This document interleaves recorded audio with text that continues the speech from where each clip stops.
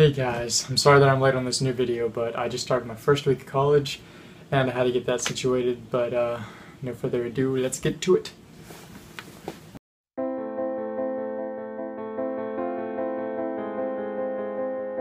Man began to multiply and fill the earth, but their thoughts became only evil things. God was disappointed in all men except for Noah.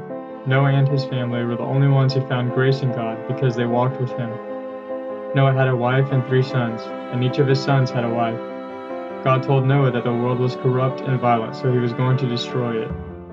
He told Noah to build an ark with rooms inside, a door, and a window. God gave him instructions on the measurements and what to build the ark out of. God told Noah that he was going to flood the earth and kill everyone, but his family because they were faithful.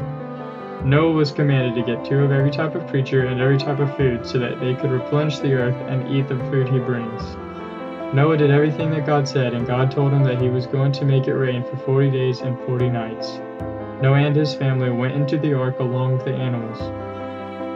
God told Noah to shut him, his family, and the animals inside, and then it began to rain.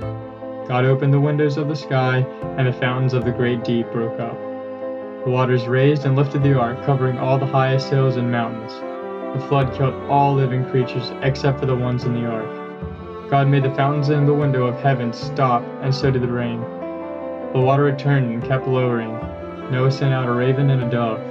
The dove found no rest and returned to the ark. Noah waited for seven days and then sent out the dove again, but this time it didn't return.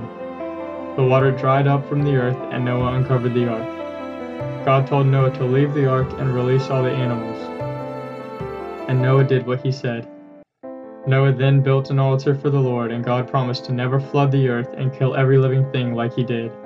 God blessed Noah and his family and told them to replenish the earth.